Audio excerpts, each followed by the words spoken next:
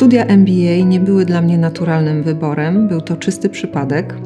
Obejrzałam e, kiedyś materiał, e, który był wywiadem z dyrektorem e, tego kierunku MBA, Michałem Pronobisem, i on użył tam takiego pięknego zdania że żeby być dobrym liderem, trzeba być dobrym człowiekiem. Wszyscy w biznesie y, staramy się posiadać wielką wiedzę, y, wiedzieć, jak rozwiązywać problemy, a mm, tak naprawdę nikt nie mówi o tym, że bardzo często posługujemy się intuicją, która nam dyktuje wiele wyborów. Więc partnerzy programu MBA zapewnili no, właściwą merytorykę w tym względzie.